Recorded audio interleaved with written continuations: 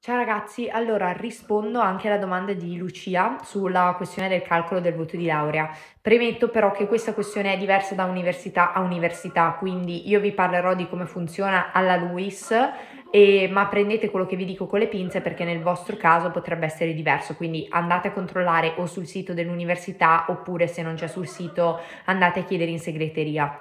E in linea generale vi posso dire che il calcolo della media in centodecimi, quindi il passaggio dalla media in trentesimi alla media in centodecimi, potete farlo anche voi perché basta fare semplicemente l'operazione media in trentesimi per 110 e poi risultato diviso 30. Questo vale per tutte le università e per tutti i corsi di laurea.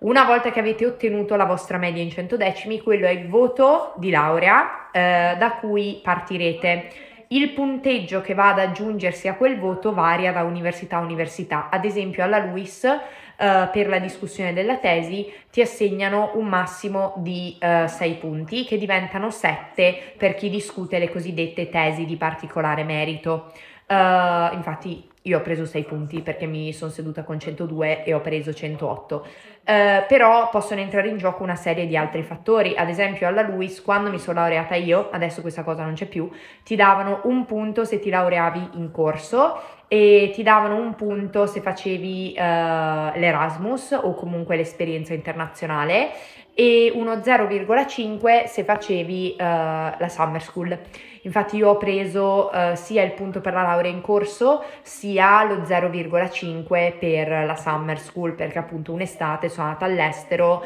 alla London School of Economics, ho dato un esame là che poi mi hanno convertito appunto come voto italiano e appunto mi hanno abbonato questo mezzo punto per aver fatto questa esperienza all'estero